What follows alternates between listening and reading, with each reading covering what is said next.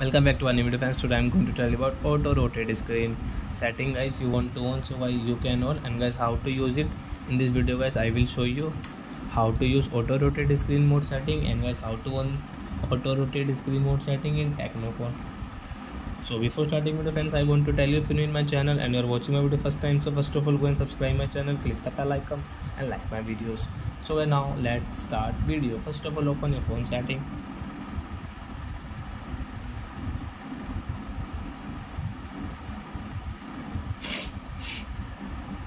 then guys click on display and brightness setting. Scroll it. And guys you can see auto rotate screen. So why you want on so why you can on. And now example for guys we are taking youtube. Guys you want to rotate your phone automatic. So it will rotate.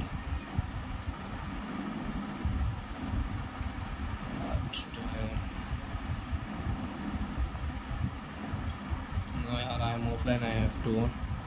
Guys you can see guys auto rotate it will rotate so I hope friends you have understood how to an auto rotate screen mode setting in Tecno phone. So that's it guys. Thank you for watching my video. Now we will the next video with new topic. Before guys please go and like, comment and subscribe my channel.